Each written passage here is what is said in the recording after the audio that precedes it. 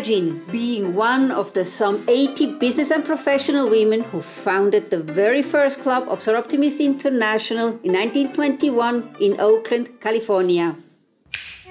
Or picture meeting Suzanne Noel in Paris in 1924 when she started to spread the Soroptimist spirit throughout Europe and Asia. In the following decades, thousands of women became Soroptimists. More and more clubs worked worldwide to improve the lives of women and children.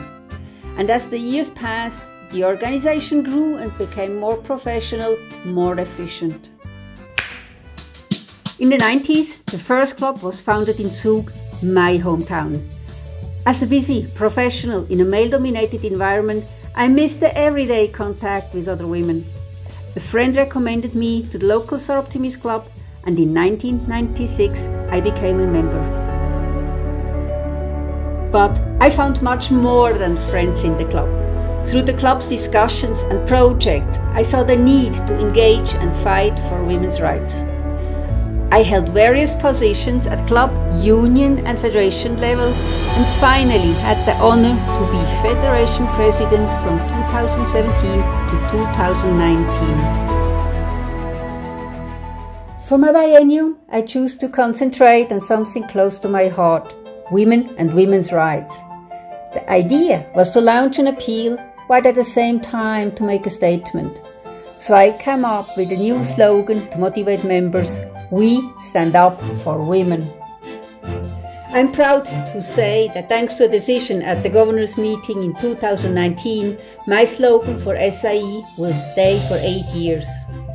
And two other federations were so inspired by our motto, they asked for permission to use it too.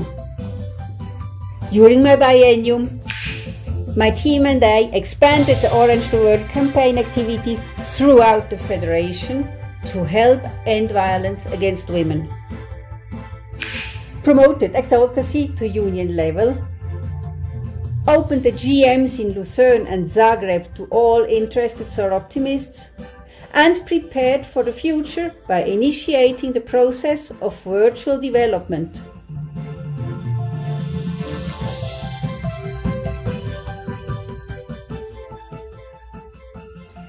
100 years after the founding of the first club, there are now 72,000 Soroptimists standing up for women. Because we are a global network with projects that have a sustainable impact at local, national, and international levels. Because we have a voice at the UN, at the Organization for Security and Cooperation in Europe, and at the European Women's Lobby. And there are many more benefits. Initially, my motivation to join our organization was a desire to meet other like minded women. But eventually, I became committed to live and fight for our Soroptimist values. Our causes have become a passion. And you know what? Thanks to Soroptimist International, I've now gained true friends all over the world. Soroptimist International, happy anniversary!